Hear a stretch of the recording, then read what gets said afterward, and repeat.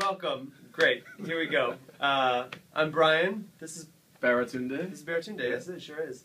Uh, and we're going to do episode two here of Behind the Back Page, Yes. uh, the monthly segment in which we chat a little bit about what you wrote in that issue of you try to do Company. some gotcha journalism type Exactly, questions. Yeah. exactly right. Um, and so, but this month is a particularly special month because you are not on the back page. No. Well, are you also on the back page? Actually, I am. So you're on you're on a couple pages. it's like a sandwich. yeah, it's like a made Baratunde sandwich. me. But Yeah. you are also on the front page Yeah. of Fast Company, and just today, Monday, June, whatever it is, uh, 16th, uh, the article went live Yeah. and Unplugged. unplugged. Yes. So I guess for starters, like, just what is the article? Why are, why the hell are you on the cover? Why the hell am I on the Fast cover? Company? That's a great question. I'm asking myself that. I had a very crazy 2012, which you were a part of, Mhm. uh, in terms of setting up this company. Left the Onion, started a company, put out a book, toured heavily, and I've been connected forever. I was overwhelmed, Mhm. and by the end of the year, I just didn't want to have much to do with people. Mhm. and with uh, obligations or work, I need a vacation. That's not an unusual request, but for me, it was difficult because what I needed a vacation from was a lot of digital noise and interaction. So I took a 25 day break from all Twitter, Facebook, Instagram, every social media tool, and email, and work. And I chilled. Mhm. I stayed in Brooklyn, got a nice little Airbnb spot to really feel the moment uh, of a place that was much nicer than any place I've ever lived. And, uh, and I called it this sort of digital detox experiment. Coming out of it, I was so moved by the experience, and I was very happy about it. I pitched Fast Company on writing a piece that was not just a column, but a larger piece. Yeah. And they went for it. And as we went through the editing process, it became clear to both of us this was actually a bigger piece. So they made space for it. It ended up being on the cover, and that's why we're talking right now. Great. As opposed to the other times we talk, which is not Right, this. not at all for this reason. Yep. Um, well, so you went total detox. Did you ever, like, was there ever a moment, even an accident, Yeah. that you, like, accidentally plugged in? So here's- second. Here's what, sort of, Okay. but not exactly. and so when I say sort of, you have to understand. I created my own rules. I Mhm. wasn't off the whole internet. Right. For So you could still three and a half look up something for maps. Yeah, I could like, map myself. I could buy tickets to movies right, online. right. I searched for things on Google. It was It about was like communication and people. and social so- yeah. interaction online. Gotcha. I cut that. I allowed myself to use the phone for voice Okay. and for one-on-one text messaging. Okay. So what happened um, from an internal compulsion? I, I like to share articles, Right.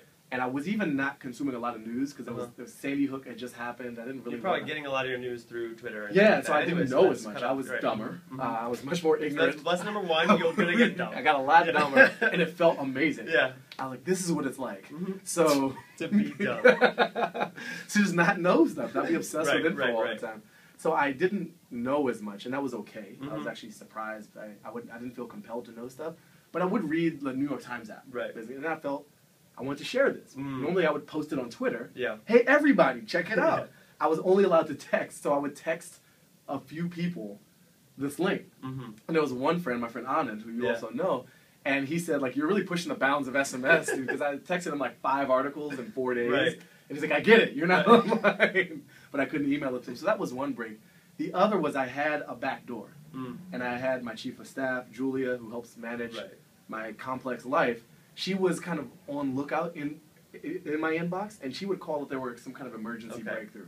So, like, I had a friend with a family emergency, Mm. and she had sent an email, and Julia thought I should see it. Okay. So we created a little Evernote Sure. that I, she could tell me to look at it, and I so would she even transferred that though. Yeah, So because I, uh, yeah, if I got into Gotcha. the inbox, it'd be I'd be done for. Mhm, mhm, It'd be mhm. done for. And then the third case was a Facebook security situation Yeah. where people were trying to like hack into my account, and I got these It's that thing that notifications. yeah, just like happens on everybody, right. Facebook, and they're like, "Oh, it looks like you tried to change Yeah, your so you password." had to- you had to- Clearly, I didn't. And you had Julia take I, care di- of I right? gave her my credentials. Gotcha. Um, so it looked like I logged in. What do you? What was like the biggest test? So, so if those were sort of accident or like o- Yeah. outside circumstances that forced it, was what was the moment or what was the sort of instances in which you most? I mean, was it sharing news? I guess. It was the news thing because I wasn't.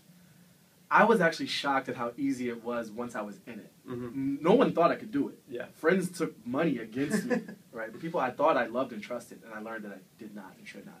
Um, they were like, "You can't do this. We have no faith Yeah. in you as a human, and with discipline." So I was shocked. Even the first day, I was like, "Oh, this is not as hard as I thought."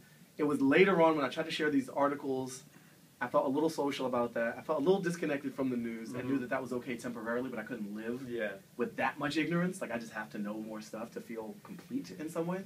And uh, the hardest part was actually getting into it. Mm. It was the mechanics of unplugging. Oh, I see. Yeah. Being unplugged was not nearly as annoying as getting unplugged. Yeah, yeah. And that's just because these tools are really set up to get you in, but not really let you go. So now that so so coming out of it, then I mean, obviously, a big part of this article is is just about what the perspective you gained from it. Yeah.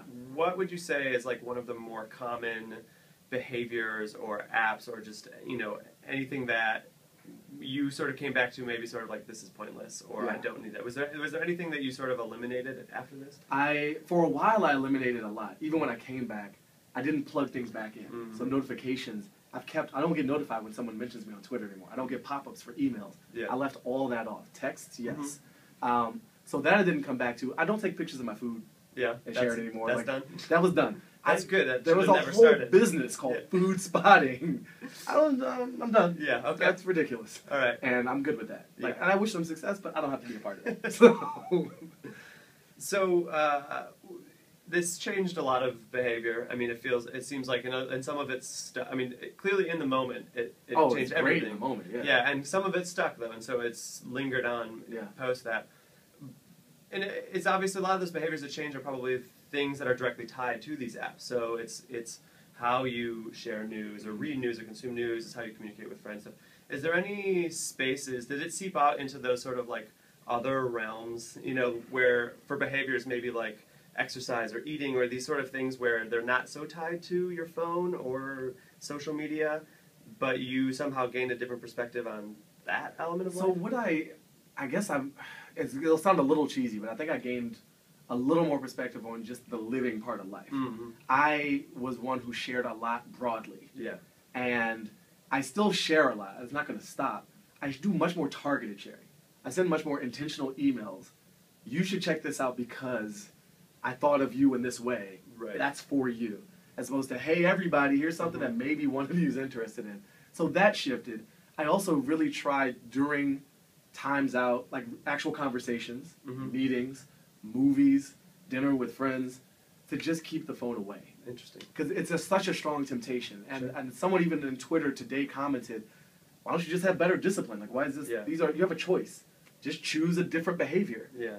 And I'm not representative of everyone, Sure. but neither is that position. Sure. And I think we've created a world of compulsion Mhm. where this is not only really addictive, and there's a level of feedback that comes with it, like love hearts. People heart your stuff on Instagram, like it's digital love, man. Right. And like people like you in this specific, quantifiable way. Um, and we are expected to professionally be really engaged. We're told you have to be always on and very responsive. So it's not just like I like sharing stuff. Like the world rewards this, and there's a level of accountability and success in, in that realm. So I've had to put some boundaries artificially in place Mhm. to help maintain that. And I try even in those conversational moments to be like, I'm going to listen to you right now, Right. as opposed to like, yeah, I'm listening. Uh huh. You're not. You're How badly do you want to be looking at your phone right now? I um I'm pinching myself. Okay, Just it's out like of frame. just out of frame. I have a knife Right. In my So knee that helps and I'm too? twisting it. Right.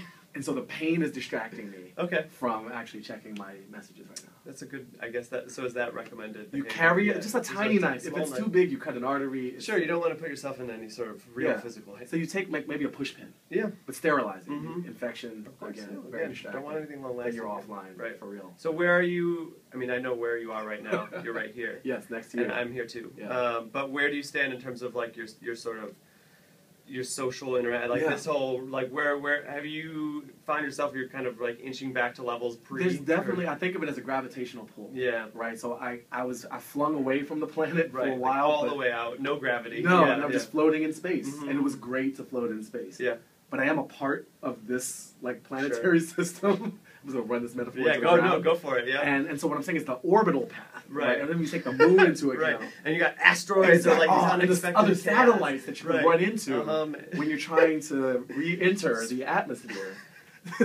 so what I'm saying is, I, I quantitatively I can see in my known numbers Sure. I'm coming back, mhm. but I also I force some breaks in. So one Yeah. week a quarter roughly. I don't add any meetings. Like meetings was Yeah. a big part of this. That are not directly work related to what we're doing. Right, right. Um, which eliminates a ton of stuff. Roughly one day a week, really more like every other week. I just take a day where I mostly don't use these tools, and I don't try to share a Yeah. bunch of stuff. And then, like I said, in the very little moments. So I don't.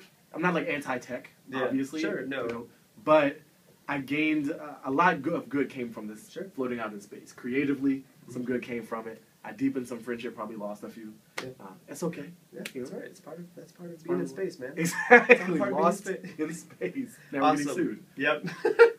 well, oh, by the way, we're in Cannes, France. I just wanted. To oh yeah, we're in France. We're in France.